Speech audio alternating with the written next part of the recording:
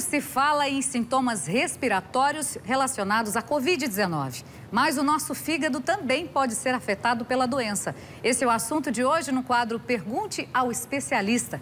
E quem conversa comigo hoje é o hepatologista Rafael Ximenes. Rafael, seja muito bem-vindo. Olha só, não é só a doença que causa lesões no fígado, a medicação tomada para o tratamento ou mesmo as perigosas terapias alternativas podem trazer muito prejuízo, né? Bom dia, seja bem-vindo. Bom dia, Juliana. Muito obrigado pelo convite. Esse é um tema realmente muito importante a gente chamar a atenção pelos riscos envolvidos. Né? Certo. A gente começa falando de um, de um assunto que não tem jeito de fugir dele, né? As pessoas estão fazendo tratamento para Covid. Até que ponto a doença traz, afeta o fígado e quanto né, que essa medicação, às vezes as pessoas têm aquela alternativa, né? Ah, vou tomar isso aqui, porque falaram que resolve. O que, que isso faz com o nosso fígado, tanto a Covid quanto o medicamento? Certo. Em relação à Covid, é muito frequente nós termos alteração das enzimas do fígado dosadas no sangue naquele paciente que está com Covid. Quanto mais grave o quadro, maior o risco. Então, nos pacientes internados de UTI, até 80% podem ter alteração das enzimas do fígado. Só que normalmente são alterações leves que não vão trazer grandes consequências. Na minoria dos casos, a gente pode evoluir para mau funcionamento do fígado e um quadro mais grave. Já os remédios, não só para Covid, mas medicações em geral, elas apresentam um risco frequente de lesão no fígado. Esse risco não costuma ser tão alto, a gente está falando de 1%, meio por cento. Mas se a gente pensar que for um remédio que não tem um benefício comprovado e que for usado de forma desnecessária e principalmente em grande escala, como tem, a gente tem visto na Covid, e mesmo por cento passa a ser muito. O que, que acontece com o nosso fígado, por exemplo, quando a gente usa um medicamento e pode afetar ele? Vamos supor que a pessoa ah, por conta própria, vá lá na farmácia, compre um remédio lá sem receita ou consiga, né? Que algumas pessoas fazem essa loucura. De, não, meu amigo me vende. Sim. Vai lá e pega aquele medicamento. O que, que acontece nos casos mais sérios? O que, que pode acontecer com o nosso fígado, doutor? Certo. Os medicamentos, eles podem afetar o fígado de duas maneiras. A primeira delas é uma lesão direta. Tem remédio que ele é tóxico para o fígado e isso, em geral, depende da dose utilizada, do tempo de utilização.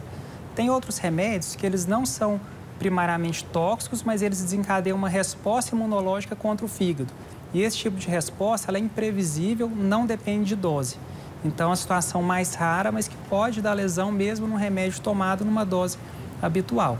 O que, que acontece quando o fígado sofre lesão? A pessoa pode começar a ficar amarela, porque o fígado elimina bilirrubina.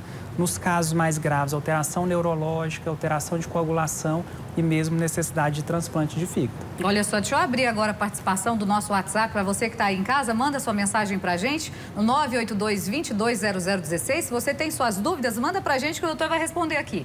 Bom dia. Sinto o tempo todo o meu estômago inchado. Durmo e acordo com uma sensação que a comida está parada no estômago.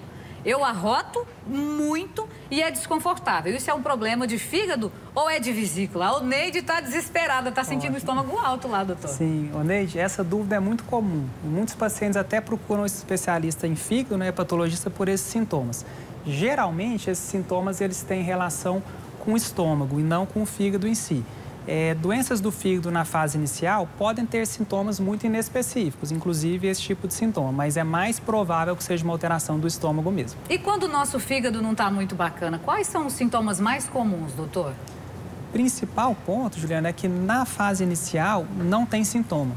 Então a gente descobre em exames de rotina, em exames para investigar aquela situação. Nas fases avançadas, a pessoa numa lesão aguda, né? A pessoa não tinha problema de fígado, desenvolveu por um remédio, por exemplo.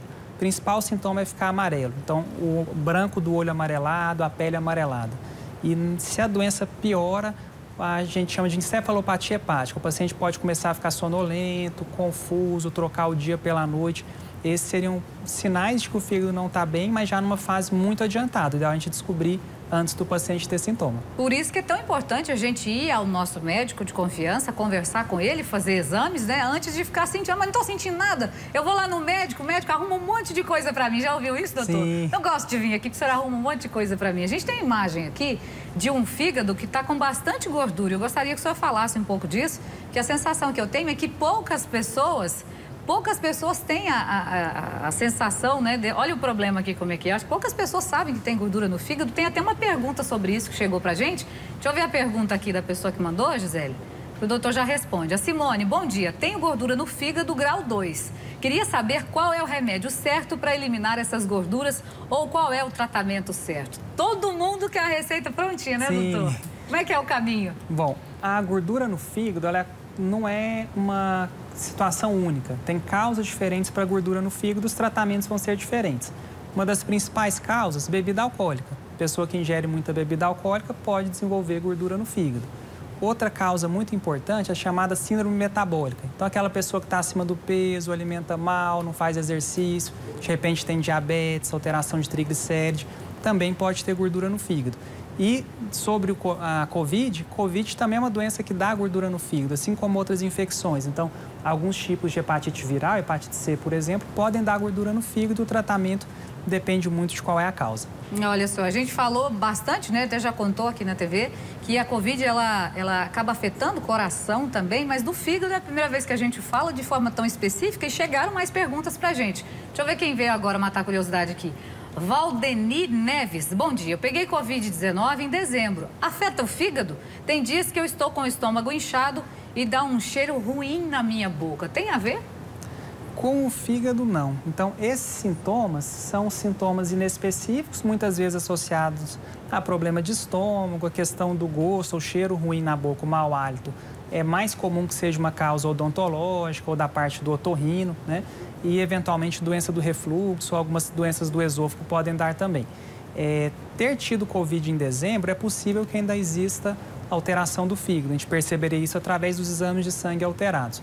Felizmente, costumam ser alterações transitórias, agora já em um, dois meses depois, é bem possível que ela esteja né, se recuperando dessa parte, caso tenha ocorrido Mas fica complicado também, né, doutor? Porque a, a Covid, o coronavírus, ele é um, uma doença tão imprevisível que todo dia a gente descobre uma coisa nova, um jeito novo dele rodar nesse organismo. Primeiro falava só da parte respiratória, depois veio do coração. Hoje a gente está falando aqui uhum. sobre fígado, né? Então Sim. não tem uma regra para a Covid. Afetou isso, afetou aquilo. Não existe uma regra, né? Não tem. Cada caso é de um jeito. Quanto mais grave o quadro, maior a chance de repercussão em outros órgãos. E o fígado acaba, às vezes, sendo vítima muitas vezes do tratamento, das outras complicações que a doença traz. Certo. E quando o paciente vai lá no doutor Rafael e o doutor faz os exames com ele e fala assim, você está com cirrose. Aí a pessoa fala assim, mas eu não bebo, nunca bebi, nunca fumei, nunca não sei o que, um monte de mitos que a gente uhum. tem aí.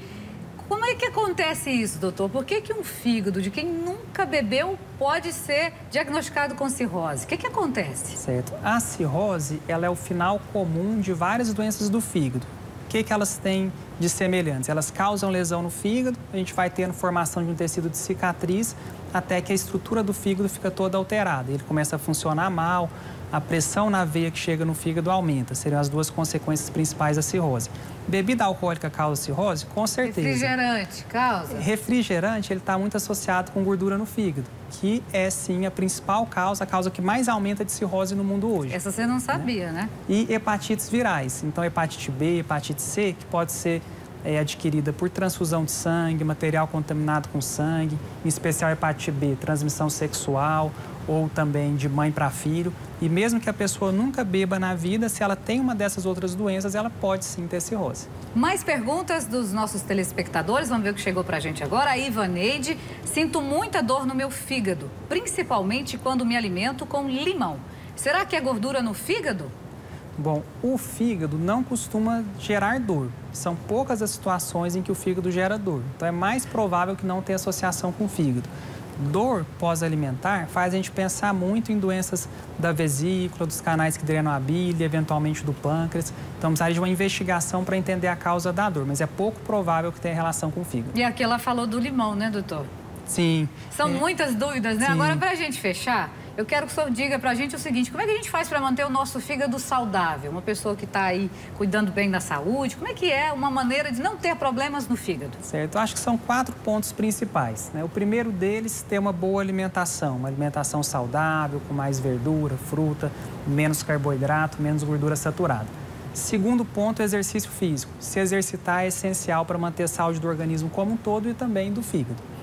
Terceiro ponto, é evitar o consumo excessivo de bebida alcoólica. O álcool é sim um fator muito importante para a lesão do fígado. E por último, fazer um check-up periódico, especialmente se a pessoa tem é, diabetes, se ela está acima do peso, se ela tem suspeita de alguma hepatite viral, essa pessoa ela tem que ser acompanhada e descobrir antes de ter qualquer sintoma. Tá certo. Nós conversamos aqui com o hepatologista, Dr. Rafael Ximenes. Muito obrigada por aceitar o nosso convite. Eu tenho certeza Eu que, que foi muito importante para quem está assistindo a gente. Obrigada, bom trabalho, bom dia, viu? Obrigado, bom dia.